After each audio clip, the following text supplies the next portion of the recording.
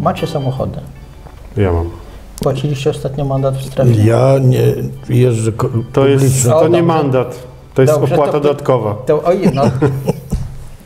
Dobrze, i mamy jednego, jednego radnego. Proszę się przyznać, płaci pan ostatnio, ale nie mandat oczywiście w sensie. Opłatę mm, dodatkową, Tak, tak. niech dobra, nazwijmy to Zdarza się. dodatkową, ale w strefie. Zdarza mi się tak. E, dobrze, to pan najbardziej potrafi wyjaśnić ten najnowszy wyrok Naczelnego Sądu Administracyjnego, który ostatecznie reguluje, za co można, nie wiem, karać, nie wiem jak to nazwać teraz, kierowców, Pobierać którzy, opłaty. pobierać opłaty od kierowców, którzy nie wiem, niezgodnie z prawem parkują.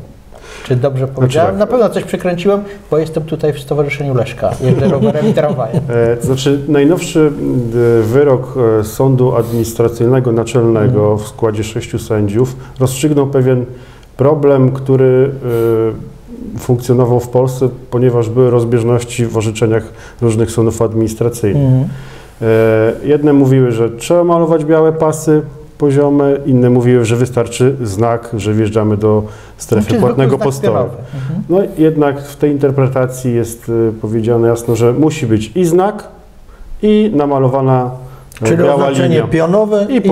Czyli na jezdni. I e, strefa nie może brać opłat za samochody, które są zaparkowane poza tym wyznaczonym miejscem. Mhm. Tu ewentualnie, jeżeli jest to niezgodne z przepisami, To może Straż. Miejska lub e, Policja nałożyć mandat, natomiast nie może dostać mandatu i nie może dostać dodatkowej opłaty Jednego za i strefę. drugiego nie tak. może. Tak. Jakby cudzysłowie, znaczy nie wtedy, nie może być dwukrotnie ukarany, można powiedzieć. Jeżeli Tak. parkuje w miejscu nieoznaczonym e, na strefie pan. strefy. Tak. Ale e, panie Leszka, czy strefa w ogóle ma sens? Ja bym zapytał.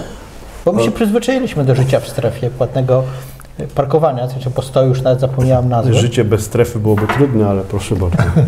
Panie redaktorze i kolego i Państwo szanowni, ja uważam, że ten spór to jest już ponadczasowy w tej chwili. Chodzi o to, że niedługo w mieście będziemy jeździć, ale stać będzie bardzo trudno. Zatrzymać się, zaparkować, Mhm. dlatego że ilość samochodów no, przekracza ilość miejsca, na którym by te samochody mogły stać. W Olsztynie za w tej chwili ponad 100, jeśli się nie mylę, 110 tysięcy samochodów To zarejestrowanych. jest, mas- jest masakryczna. No to jest prawie jeden samochód na mieszkańca, do, no na pewno już na To- to- dorosłego Ale mieszkańca. przepraszam, statystycznie wynika, że skoro my nie mamy, a nie my mamy, No, ale to moja żona jeździ samochodem, autobusy, dobra. no. Nie, nie, bo chciałem powiedzieć, że w takim pan radny powinien mieć trzy samochody, jak my nie mamy, ale, No tak, tak. ale moja żona ma. No. I, I w tej chwili y, no, każde formy ulżenia jakby Mm. tej, tej, e, tej poszukiwanie możliwości u- y, ulżenia kierowcom, bo to już Mm. w tej chwili staje się mitręgą, poszukiwanie miejsca i tak dalej, potem parkowanie Ale jeszcze, strefa to rozwiązała jakoś, że jest lżej? no nie rozwiązała, nie No rozwiązuje moim, moim sytuacji. zdaniem jakby strefa, pomijając już kwestie tam oczywiście dochodów, które ma miasto, czy miasta w Polsce, bo wszyscy mają te strefy, no to wszyscy płacą za to, więc tak na zdrowy rozum ja nie wierzę, żeby kogoś odstraszyła kwestia zapłacenia 10 zł, jak widzi, że jest miejsce. To parkuje. No, a tutaj no, no jednak są pewne środki, które no, ograniczają ten posył, bo to jednak jest Mhm. wydanie 10 zł za dzień postoju. No to są pewne kwota, która może zostać w kieszeni. E, Mhm. Także no, każdy, niektórzy liczą to miesięcznie, to są naprawdę no, niemałe środki. No, trzeba wiedzieć, jaki jest tre- cel tej strefy. No to jest ta rotacja tych samochodów, żeby była jak największa. I tutaj trzeba się zastanowić nad tym, czy jeżeli ta rotacja tych samochodów w niektórych punktach miasta, e, ta stawka nie jest wystarczająca, no to tu trzeba się zastanowić, czy stawka w strefie odpowiednia, skoro nie ma tej rotacji, e, żeby tą rotację spowodować. E, No i drugim elementem jest to, że tak naprawdę potrzebujemy i tutaj bardzo liczę, że ten plan zagospodarowania przestrzennego wokół Starego Miasta szybko się zakończy, żeby ogłosić przetarg na budowę tych parkingów wielkopoziomowych. To by rozwiązało muszę problem. powiedzieć, że, rozwiązało że, we, że, że w Łodzi, że w Panie radny, nie musimy najpierw posłuchać tego głosu sprzeciwu. No, tak, nie rozwiąże sprawy, dlatego że po pierwsze parking wielopoziomowy będzie płatny. To jest pierwsza rzecz. A No, poszukiwane, też płatną. No ale dobrze, okej. Poszukiwane są miejsca, gdzie można stanąć y, bezpłatnie. Mhm. Y, Przykładem są osiedla. Są parkingi osiedlowe, które są puste, Tak. A wokół parkingów nie ma gdzie włożyć palca Zgadza między samochodem. Często tak jest. To jest e, pierwszy przykład. Drugi, no nie wiem, czy znajdą się Łukaszu inwestorzy, którzy rzeczywiście zainwestują w to. Mogę Wiem, powiedzieć. W Łodzi sześciu się zgłosiło.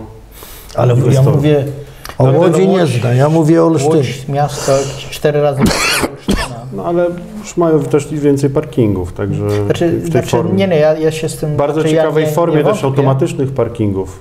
Natomiast mówię, ja jak słyszę, jak słyszę takie porównania związane z dużymi miastami, to mi się od razu przypomina e, na przykład, kiedy e, ktoś mówi, że trzeba coś zrobić dla rowerów i mówi, bo tak jest w Madrycie. No, przy całym Mm, szacunku. Nie ma, to jest, nie są porównywalne rzeczy. Ja mówię w tym sensie. Natomiast y, ja uważam, że przynajmniej jeden taki parking duży by się przydał. No, E, przy Starym Mieście na pewno by Tam, się tam no, był, były takie pomysły. Są One- dwa, Nowowiejskiego i Mochnackiego, tak? To te są w projekcie. No są, tak. No, ale Nowowiejskiego to już dyskutujemy y, trzecią kadencję. Długo to już jakoś trwa. Długa dyskusja Miejsce i cały czas nie mamy cały planu czas. zagospodarowania i to jest... No właśnie. Planu nie ma, bo po prostu chodzi o to, że trzeba od, tą starówkę odsłania się z każdej strony. Nie może być Ale to zasłonięta. się już da, ona już jest tak zam- zamurowana z każdej strony, że jej nie widać. No były projekty, że wybudujemy parking wielopoziomowy na Nowowiejskiego, No tak, ale no z ja galerią i z innymi e, Mhm. jakby... Ale z galerią w sensie handlową? Tak jest. W tym miejscu? Tylko, że musiała być wtedy wysoka i zasłaniałaby całe Stare Miasto.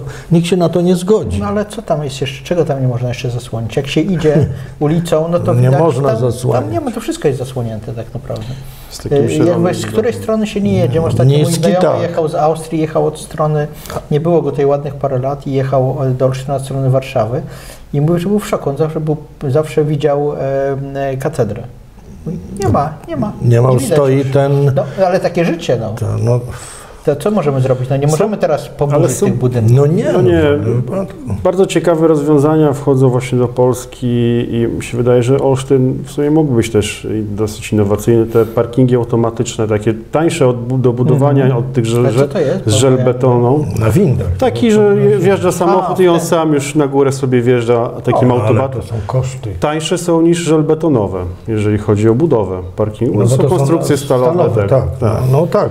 na E, I dźwigniach, więcej a samochodów się w nich mieści, nie, nie potrzeba tych manewrowych placów i tak dalej, i tak dalej. To na pewno Olsztynowi raczej, ja myślę, że taki parking y, wielopoziomowy na pewno by nie zaszkodził. Czy pomógł? Ja myślę, że trochę Trzeba spróbować, Tak. trzeba e, najpierw dać możliwość inwestorom ogłosić e, przetarg, żeby się zgłosili. No Jeżeli tak, się zgłoszą, trzeba w ogóle zmienić, tak jak No. rozumiem, plan, żeby można było w ogóle no tak, budować. tak. Pytałem prezydenta, mówi, że e, no, planu jeszcze nie ma, no nie wiem kiedy będzie. No będziemy naciskać, żeby było jak najszybciej, bo to dla nas są To znaczy, to strategiczne, można powiedzieć, strategiczne Państwo, że tak, że Pan Radny pewnie doczeka tego parkingu. Parkingu. My, my, Leszku, my musimy pomyśleć chwilę, czy doczekamy, czy nie doczekamy. No, ja bym chętnie doczekał, ale Ja bym też nie miał nic przeciwko temu, ale w takim tempie, drodzy Państwo, to, to chyba jeszcze e, troszeczkę potrwa. E, po pierwsze, Olsztyn dzisiaj Państwa i moimi gośćmi byli Pan Leszek Araszkiewicz, PiS i Pan Łukasz Łukaszewski, Platforma Obywatelska. Dziękuję bardzo.